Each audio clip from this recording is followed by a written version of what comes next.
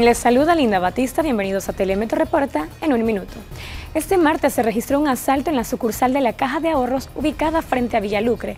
Los asaltantes se dieron a la fuga en un auto sedán que posteriormente abandonaron y abordaron otros dos vehículos de color blanco.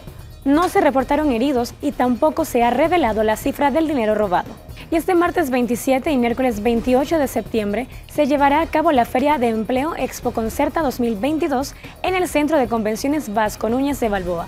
Participan más de 50 empresas que buscan llenar más de 2.500 plazas de empleo.